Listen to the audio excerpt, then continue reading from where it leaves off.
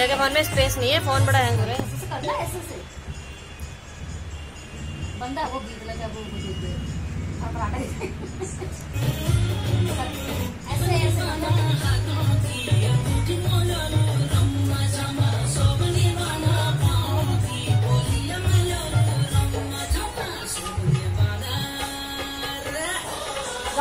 है